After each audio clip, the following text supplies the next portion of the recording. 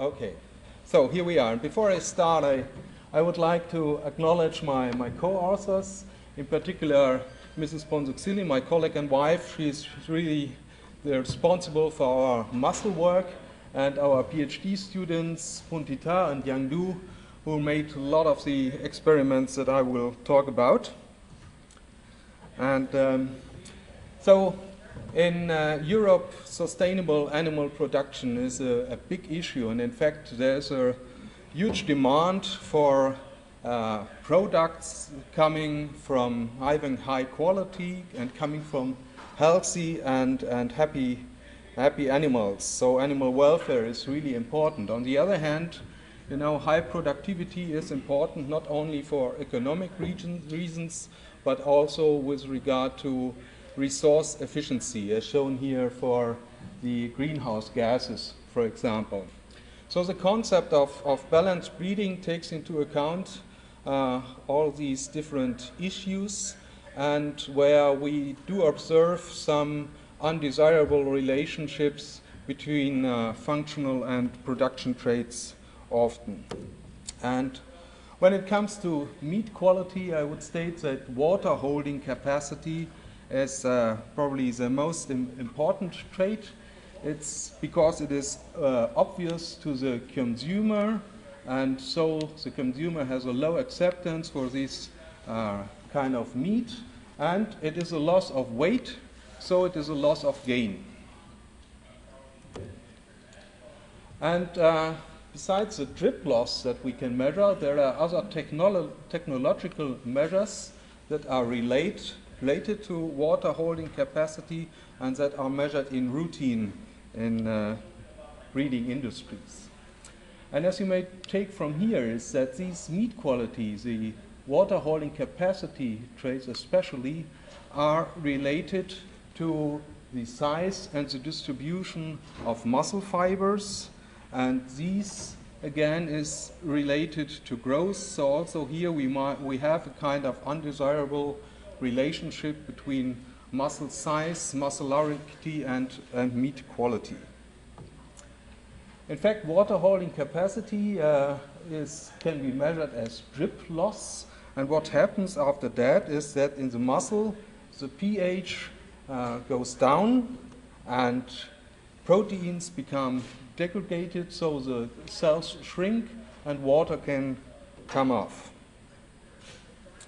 You see that for these traits there is quite a variation in the population and it is therefore of interest to address the genetic foundation of this variation.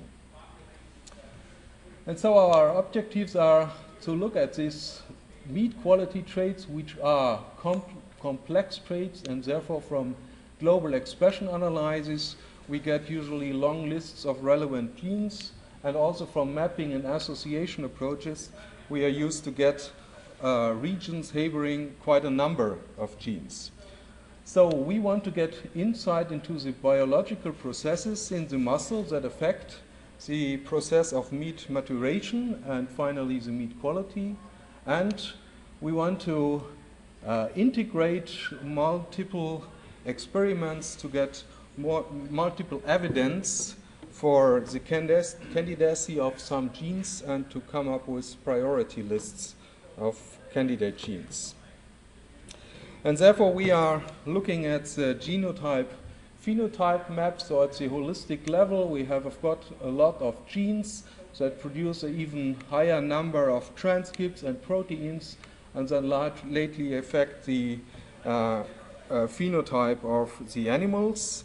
And so our interest is to catch up the relevant genes that are uh, uh responsible for the expression of some uh, um, complex production traits.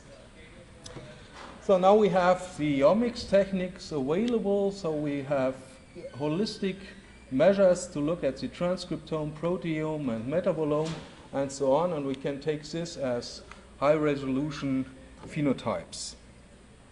And in fact, what we are doing for a long time is in linkage studies, and nowadays in genome-wide association studies, is to look for the link between the DNA and the phenotype. And the nice thing with this, you can do this with each trait that is uh, that shows variation without any knowledge of the biology of, of the trait at all.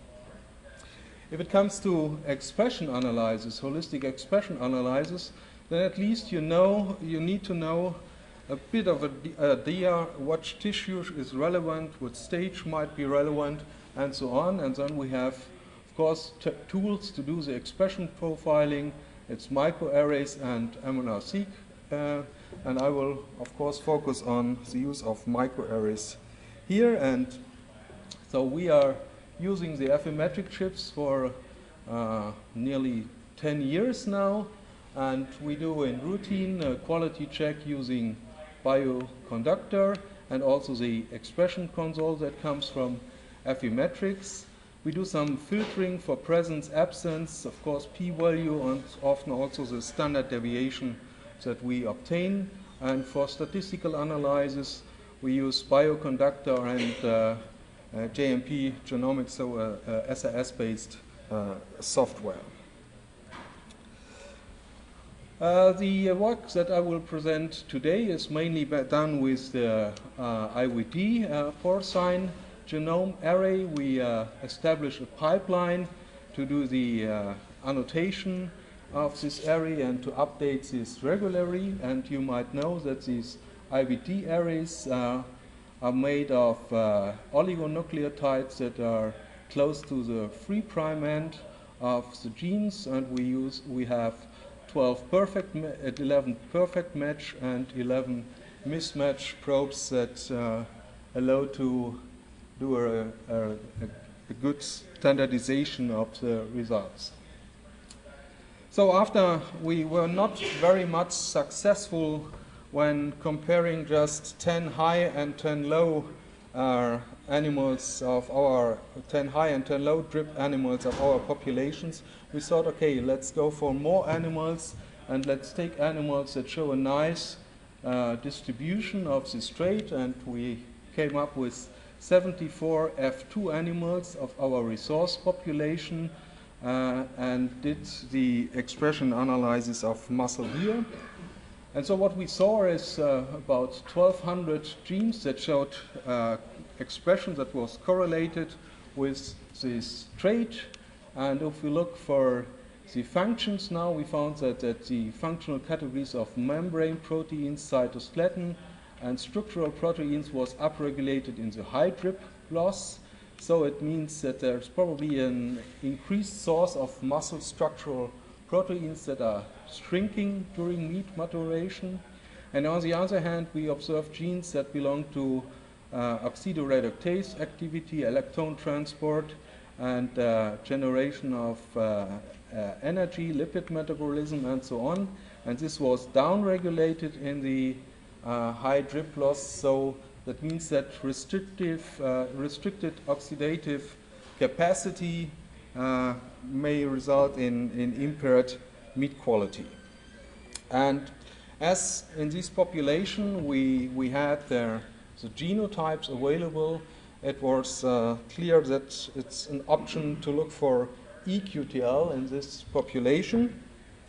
But first of all, I like to show up some of the pathways, networks that we found. You see here are networks of genes that were regulated or correlated with a trait in a consistent manner, here all green or red and so on.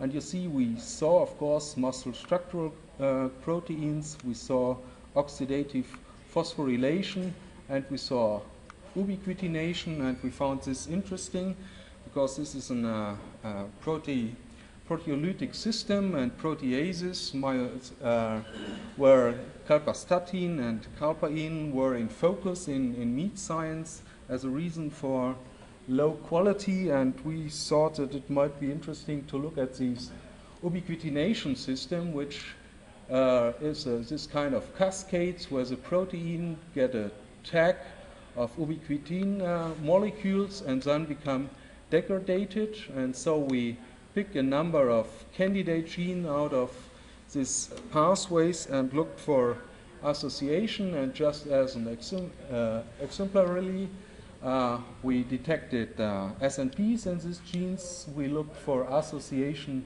with the trait, with drip loss, and we looked for any link of the SNP with the expression of uh, the gene because our aim is always to come into this kind of triangular relationship where here we have the T allele uh, meaning a low uh, water holding capacity.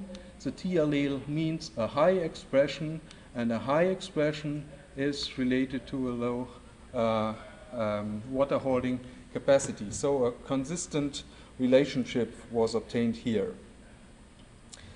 So as I already mentioned, we had the genotype of these animals available, so we could go for the detection of, of EQTL, and in fact, we found some 900 EQTLs at the chromosome-wide level distributed over all chromosomes.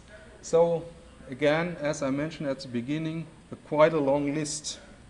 And so what we did then is coming up with these 1200 trait correlated probe sets, we found some 900 which showed a EQTL, and then we looked which of these EQTL uh, is located on a QTL for the trait itself that we have mapped before. So we came up with 100 EQTL in those QTLs for drip loss.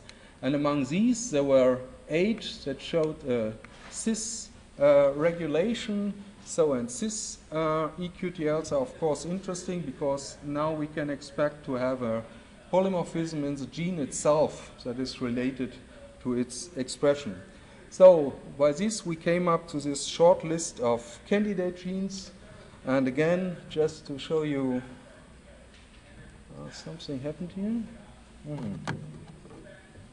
To show you here an example, one of these genes is uh, ANAC1. We could show for this gene effect on the trait again in different populations. And if we fit this uh, SNP of the gene in the QTL and the EQTL analysis, then you see we have here this nice drop that is not approved, but it's a strong indication that there is really a snippet uh, within the gene that is uh, associated with the gene's expression.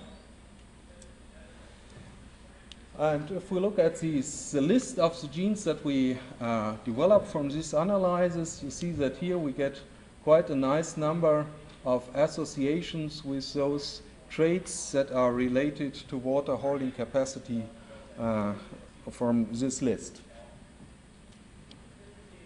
So what, what, are, what are we are, what we doing now is that we try to take advantage of the lowered li linkage disequilibrium that we can observe in commercial populations. So we use animal of a commercial three-way cross that is common and commonly used in Germany and a population of German landrace animals. And these animals are all performance tested and we took 12 meat quality traits uh, from these animals. Uh, we do a genome-wide association study with a 60K chip, and we did expression analysis. With the Affymetrix arrays of uh, some 200 animals, and then we could again uh, calculate EQTL or ESNPs in this case. And now we try to, to integrate these data. From the GWAS, we get trait associated SNPs with certain positions. We can derive positional candidates from this. From the expression analysis, we get trait uh, correlated expressed probe sets, and uh, functional candidates come from this. And if we now ask the question, which of the uh, trait associated SNPs is at the same time a ESNP for a trait correlated uh, gene, trait correlated expressed gene that also falls in this uh, area of the genome, we come up with a list of, of nine functional candidate genes that are actually cis-E QTL at two uh, GWAS peaks that we are focusing on. And so at the moment, we are focusing on, on these uh, nine new functional candidate genes. So in my second part, I, I would like to uh, report a little bit about our works that we are currently doing by integrating the regulatory level of the microRNAs in, in our studies. And you are familiar with this. The microRNAs are the small molecules that do a kind of a fine tuning of the expression of the uh, mRNAs. And um, in order to get expression values from these, we uh, constructed a custom array. We started by a look at the miRBase. It was on, on, version 14. At that time, there were only 78 uh, microRNA, porcine microRNAs in the database, but there were some publications available with some more. And we merged these lists that gave a sum of 284 microRNAs. And then we took all the other microRNAs from the miRBase and blasted against the, the porcine genome and all with 100% ident identity. Uh, we, took, we took and finally ended up with an array with 675 uh, probe sets. Meanwhile, we also use the uh, Affymetrix catalog array. We are at the version 3. I just saw on the web page that you have version 4 now. And the version 3 has, uh, you see here, a number of uh, microRNAs for 153 organisms. And we apply it in mouse, so here we have more than 1,100 microRNAs that we can address. Actually, our work in uh, the microRNA stuff is uh, following three lines. So we look for prenatal breed differences, we look for adult trait association, and we developed an in vitro model for validation of our results. So for the breed differences, we uh, do an expression profiling of fetuses with the mRNA array and, and the miRNA array and the mRNA array. And then we try to combine it and to come up with uh, uh, pathways, biological pathways that are relate, that show differences in the, trait in the two breeds that do differ in meat quality traits. And for the uh, adult association, we uh, again focus on uh, commercial cross, on this uh, PF1 cross, and we do, course, again, the uh, expression studies using the microarrays, and we do an integration of the results. I will show you some more details about this. So coming to the prenatal uh, mRNA expression stuff, you see what uh, we used here, three pools of six animals each per stage and per breed.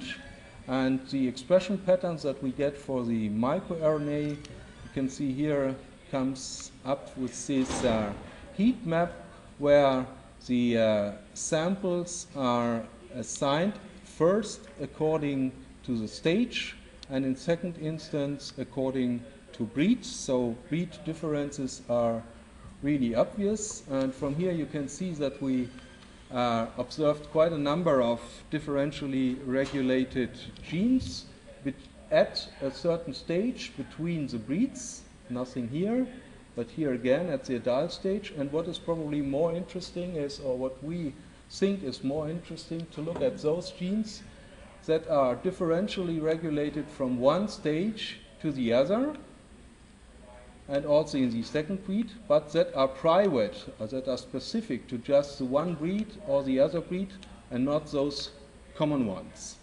And if we look now, uh, try to come up with some functions, then we need, of course, to link the um, microRNAs with some uh, genes. And at this stage, we did it by using the microRNA target filter option of, of Ingenuity, and you see there are a number of uh, pathways and biofunctions uh, that have targets of these microRNAs uh, microRNAs that are differentially regulated. And you see that we also can show differences between the breeds for some uh, quite interesting uh, pathways. So in second instance, we said, okay, if we do it this way, then we only uh, focus on the knowledge that is in the database, but we do not have a correction for the uh, mRNA that are really differentially expressed in, in our experiments. So this is why we also did the mRNA expression analysis in these animals. And here we used individuals. We used six fetuses per stage per breed and 36 adults.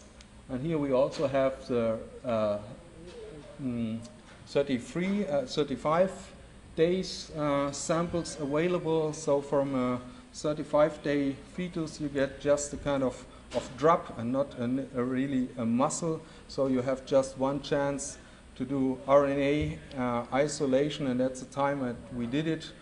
We were not aware of that it might be useful to also obtain microRNA. So we just had mRNA from this stage. But what you can see is that, uh, again, we have quite a number of differentially expressed genes at a certain stage between the breed, breeds and also along the development that are private to either one or the other uh, breed. And of course, with the, with the mRNA, we can directly look in ingenuity for the uh, biofunctions that are associated. And as you might see from here, there are quite a number of uh, biofunction and pathways that are differentially regulated between these breeds. And um, I like here to mention especially the lipid metabolism, that genes of lipid metabolisms are higher expressed in, in the you know, landrace breed, and we have previously done a similar study using liver samples, and we found the same result in, in liver. So that means uh, already at, at uh, fetal stages, we have this difference in, in lipid metabolism between the uh, more fat landrace breed and the very muscular uh, term breed. And um, using the um, Ingenuity miRNA mRNA pairing option, we were able to build up this kind of, of regulatory networks. And um, we took into account here only those where we have pairs of, with, negative correlation between microRNA and mRNA because this is a typical function, the typical uh, relationship we, we should have. And what you can take from these uh, pictures is that most of the RNA, miRNAs target several mRNAs. So here's the miRNA, there's target, and here are many other targets of one microRNA. And you can, uh, at the other hand, see that most, more than 80% of the mRNAs, so all these here, have more, a target of more than one uh, miRNA. Only here are some targets where we have just one miRNA um, addressing it. Okay, coming to the adult, the analysis in the adults. Here we have 207 animals of uh, the uh, three-way cross. We did the uh, mRNA and miRNA expression analysis with the Affymetrix arrays, again here with the custom mi array. And then we did a weighted gene co-expression network analysis, which was here developed by these colleagues here from the, the US.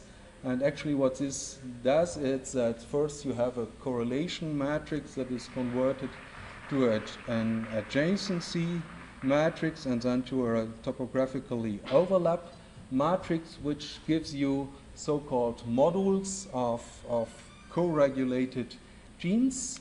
And in this uh, project, we also use the software genes uh, target scan and RNA hybrid to uh, look for the targeting of the microRNA at the end of at the ends of the mRNAs. So what's coming up from here is that for the uh, mRNAs, we obtained 22 models of co-regulated uh, genes. And out of these models, there were five that showed trait correlation. And to come up with this, we use the first component of a principal component analysis as an eigengene uh, value to do the uh, correlation with the trait of interest. And you see here the colored boxes uh, show these uh, correlations of the models here with the different traits. So in fact, there was a model of dark turquoise where we found uh, that this is mainly made up of genes related to glucose metabolism.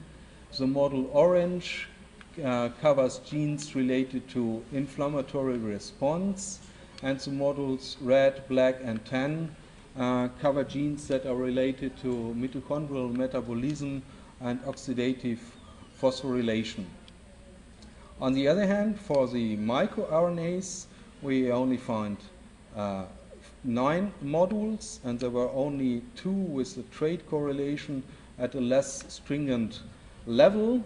And uh, probably we, we do not expect here more direct uh, correlations between the microRNAs and the traits because it is in the biological pathways more distant, of course, and, of, and we do not expect that much correlated expression of microRNAs. So we have this lower number of models. So we also look for uh, correlations of the single microRNAs with, with traits, and we found quite a number here. So what we can do with this data now is uh, looking for pairs of correlation of microRNAs and mRNAs. And you see we found some, nearly 6,000 of these pairs. Out of these, we again focus of, on those with negative correlations, close to 2,000. And then we ask which of these are out of models that showed a trait correlation that were 286. And then we tested these, uh, whether we get a positive prediction uh, for this pairing of the microRNA and the mRNA using target scan and RNA hybrid. And at the end, we found that uh, 73 of these uh, miRNA, mRNA pay, uh, pairs are predicted for, from these programs.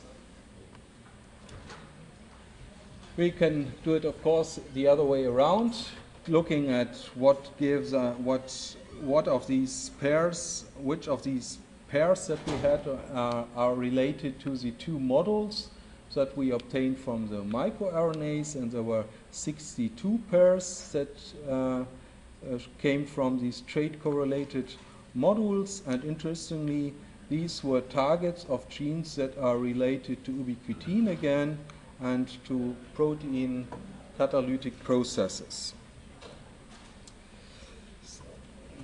So, at the end, what we found is that uh, genes of molecular roots of ubiquitination, glucose metabolism, oxidative phosphorylation, extracellular matrix, and muscle structure were here trait regulated uh, expressed. And, um, and what we are doing now is, uh, in order to validate the microRNAs that, that we found to be interesting, we use a cell culture the, uh, that comes from mouse. It's a, a, a myoblast cell C2C11, uh, and we did this culture culturing and differentiation of the cells. We monitor this uh, by microscopy, by looking at some marker genes for differentiation, and we measure the ATP uh, amount in these cells as a surrogate marker for the oxidative phosphorylation. And currently now we do transfection miRNA mimic with, with these cells and just to give you an example, we can show in this uh, in vitro model the number of RNAs that are downregulated along the growth and others are upregulated and this correlates to the ATP amounts in the cells.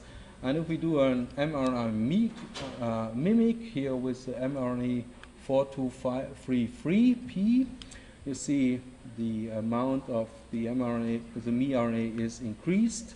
At the same time, we uh, have this uh, correlation with the ATP uh, amount in the cells, and we can show that there, there's an impact on the regulation of genes out of the mitochondrial energy metabolism.